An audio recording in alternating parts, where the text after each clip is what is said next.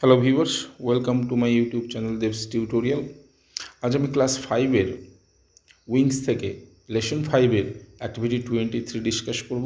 ওখানে একটা story writing আছে, তোমরা আশা করি দেখেই নিয়েছো। স্টোরিটা তোমরা দেখো। The fox and the grapes once a hungry fox got into a vineyard একদা একটি ক্ষুধার্ত শিয়াল আঙুরের বাগানে প্রবেশ করল।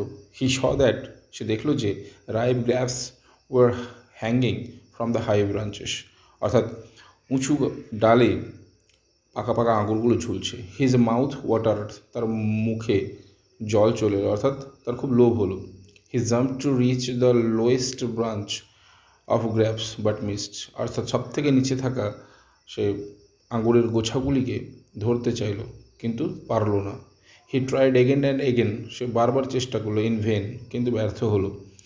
হি বিকেম ভেরি স্যাড সে খুবই দুঃখ পেল but tried to hide his inability এবং তার নিজের অক্ষমতাটাকে লুকিয়ে রাখল।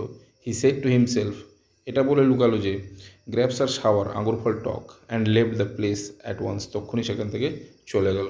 মোরাল অফ দ্য স্টোরি কি? দ্য গ্র্যাপস আওয়ার শাওয়ার আশা করি ভিউয়ার্স তোমাদের ভিডিওটা কাজে লাগবে। যদি ভালো লাগে, তাহলে অবশ্যই লাইক করে দিও এবং বন্ধুদের সঙ্গে শেয়ার করে সাবস্ক্রাইব করে দিও আমার পরবর্তী ভিডিও পাওয়ার জন্য এবং প্লেলিস্টটাও দেখে নিও। Thank you